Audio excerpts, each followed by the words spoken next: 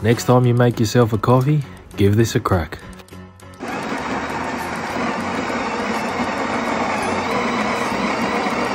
And yawn and stretch and try to come to life.